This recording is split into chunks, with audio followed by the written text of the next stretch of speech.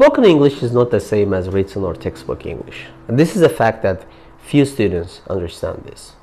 They simply do not realize that the English that they learn in schools is not the English that the native speakers use, usually in the normal conversations. To be honest, I have no idea why schools neglect real spoken English. Why do they teach only formal English? Why don't, don't they prepare their students for the real world English? I mean, what's wrong with our present teaching method that prevents students from easily and fluently communicating with native speakers? And why do native speakers not easily understand our modern students and vice versa? And why do schools seemingly focus more on the uh, fluency among the English students?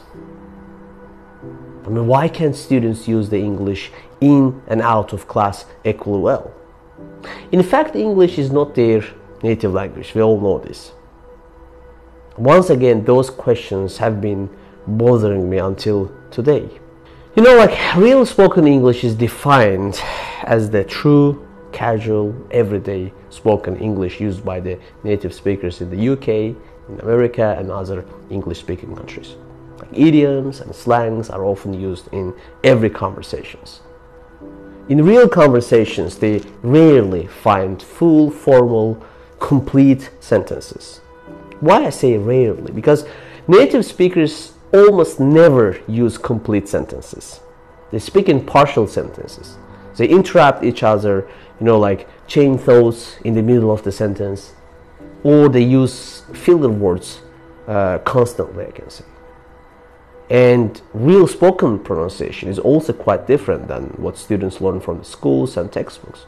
In a normal conversation, native speakers tend to, you know, like mash words together in school, students learn a few standard, you know, standard contractions, but in fact they create a huge number of non-standard contractions all the time.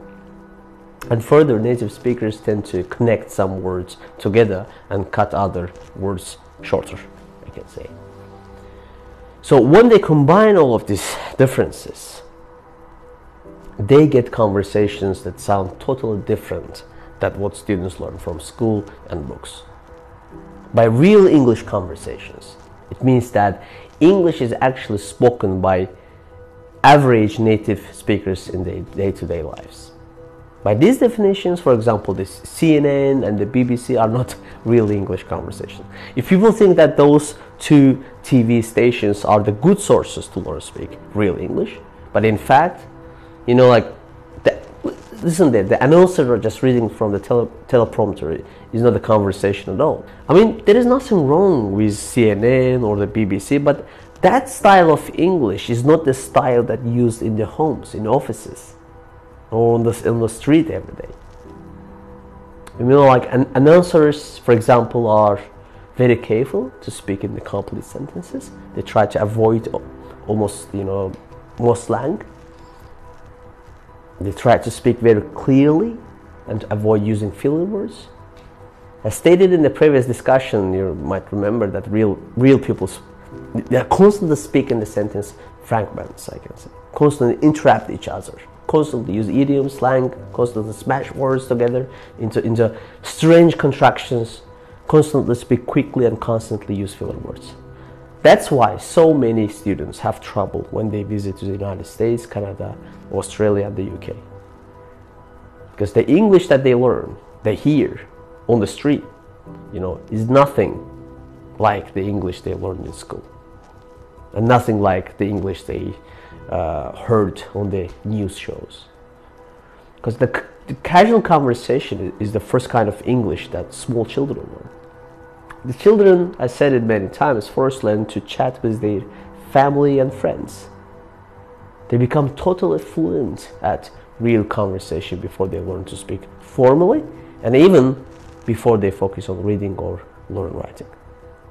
And I can say that there are two, uh, two worlds in English conversation learning. The first is the school world and the other is the real world. Unfortunately, the school world is nothing like the real world. The school world of English conversation, students study books, you know, like full of grammar rules, and books full of uh, individual vocabulary words. Students learn such rules as never use, uh, you know, like sentence fragments. I said they avoid run-on sentences, never being, uh, sorry, never begin a sentence with uh, and, and so on and so forth. Yet in the real world, native English speakers do all these things every day. They frequently speak in the fragments, they frequently use uh, long run, run on sentences. They frequently begin sentence with and, they frequently end sentence with uh, prepositions. Here is the ugly truth that the English textbooks are, are written by old clueless academics who have very limited uh, and, and little understanding of the real world. And likewise, most teachers are more interested in their own authority and their position rather in helping their students prepare for real English conversation. And so, students spend years in school vainly learning English from textbook. They just waste years taking tests and memorizing rules that are not really rules at all. See you next time. Bye. Self-study dil öğrenmesinde yegane yol ve dinleme yolu ise yegane metottur. Her birinize uğurlar.